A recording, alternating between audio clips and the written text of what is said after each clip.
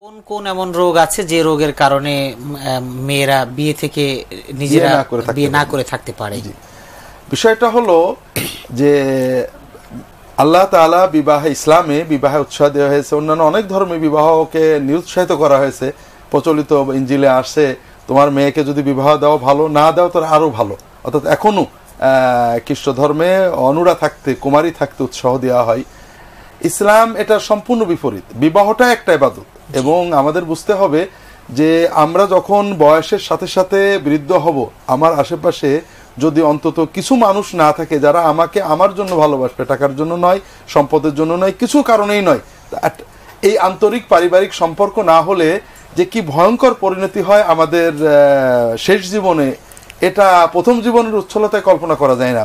আমার এক সহকর্মী আমাদের বিশ্ববিদ্যালয়ের বেচারা প্রফেসর সম্পদ আছে, বিয়ে করেননি। অন্যান্য অনেক কষ্ট রান্না বাড়া করার লোক নেই, খাওয়ার লোক নেই, গোসল করানোর লোক নেই। বেচারা মারা গেলেন, ঘরের ভিতরে কেউ জানে না, লাশ পচে দুর্গন্ধ হওয়ার পরে প্রতিবেশীরা জানতে পারছি। তো এই জন্য বিবাহ অবশ্য এটা মানব প্রকৃতির সাথে অবিচ্ছেদ্যভাবে জড়িত যে পরিবার, শুধু মানুষ নয় সকল প্রাণী পরিবার গঠন করে। আল্লাহ তাদেরকে যার যেভাবে বিধান দিয়েছেন, এই জন্য সাধারণ কোনো অসুস্থতাতেই পরিবার গঠনের দায়িত্ব কমে যায় না। তবে যদি এমন হয় যে এমন কোনো রোগ আছে যে রোগ সংক্রমণ বা পরিবার গঠনের কোনোভাবেই সম্ভব না, দাম্পত্য জীবন যাপন করা সম্ভব নয়, সেটা ভিন্ন কথা। এ না হলে পরিবার গঠন করার দায়িত্ব সবারই রয়েছে, জি। জি, ধন্যবাদ। মহতারাম, আমি এর সাথে আরেকটু সংযুক্ত একটি বিষয় জানতে চাচ্ছি যে কোনো মানুষ যদি একবার বিয়ে করে ফেলল বিয়ে করার পরে যে কোনো কারণে অথবা যে কোনো মহিলাই বিয়ে করার পরে হয়তো ডিভোর্স হয়ে গেছে অথবা স্বামী মারা গেছে বা স্ত্রী মারা গেছে। এরপরে যদি তিনি না নেন বিয়ে না করেন তাতে কোনো ক্ষতি হবে কিনা? আমরা জানব টেলিফোন নিয়ে নিচ্ছি। ইনশাল্লাহ জি জি। মহতারাম প্রাসঙ্গিক একটি কথা। হ্যাঁ ওটা খুব গুরুত্বপূর্ণ কথা যে বিবাহের দায়িত্ব কি একবার বিয়ে করলে হয়ে যায় কিনা? আসলে এরকম নয়। আহ, সাহাবিরা বলতেন যে আমি যদি জানি যে কালকেও মরে যাব আর আমার স্ত্রী মরে যায় আমি একদিনের জন্য হলে বিবাহ করব।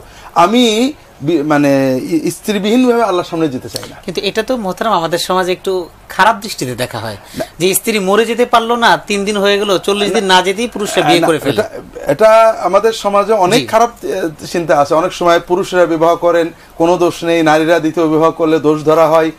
তো মূল কথাটা হলো বিবাহ শুধু মানে যৌবনের জন্য নয় বিবাহ জীবনের জন্য বিবাহ এবাদতের জন্য এই জন্য যদি কেউ এমন বয়সে বিধবা হন বা স্বামী মারা যায় স্ত্রী মারা যায় তাহলে তার জন্য বিবাহ করাটাই উত্তম জি। তবে কেউ যদি সন্তানের জন্য বিবাহ না করেন তাহলে এটা শরীয়তে বা সুন্নতে হাদিসে ই দেওয়া হয়েছে যে এটা একটা ভালো কাজ যে সন্তানের ভবিষ্যৎ আমার সন্তান আছে আমি বিবাহ করলে সন্তানগুলো নারী হতে পারে। পুরুষের হতে পারে এটা ভালো একটা বিশেষ প্রয়োজনে সন্তানের কারণে যদি কেউ বিবাহ না করেন নইলে বিবাহ করাটাই উত্তম। জি ধন্যবাদ। মোহতারাম ভাই রবিউল চাপাইনবাবগঞ্জ থেকে প্রশ্ন করেছেন যে প্রকাশ্য ঘোষণার মাধ্যমে যে গুনাহ করা হয় এটার কেমন পাপ হবে? যেমন তিনি উপমা দিয়েছেন কয়েকটি এই বিষয়ে একটু জানতে চাচ্ছি। জি মানুষ আল্লাহর এখানে প্রকাশ্য পাপের দুটো বিষয়। একটা হলো মানুষ যখন পাপ করে তবা করলে আল্লাহ মাফ করেন। কিন্তু যে ব্যক্তি পাপ প্রকাশ্যে করে অথবা গোপনে করে পরে ঘোষণা আমি মদ খেয়েছি আমি অমুক পাপ করেছি। তাহলে সেই ব্যক্তির ওই ক্ষমা পাওয়ার যোগ্যতা হারিয়ে ফেলে। এটা এটা একটা বিষয়। আর একটা হলো যে প্রকাশ্যে যখন আমরা পাপ করি অশ্লীলতার মতো পাপ ব্যবিচার জিনা তখন সমাজে যখন মানুষ জিনা ব্যবিচার করে আবার প্রকাশ্যে বলে সমাজ মেনে নেয় শাস্তি হয় না তখন আল্লাহ ওই সমাজের উপরে গজব দেন।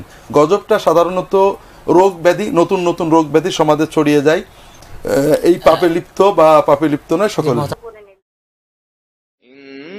إنما المؤمنون الذين إذا ذكر الله وجلت قلوبهم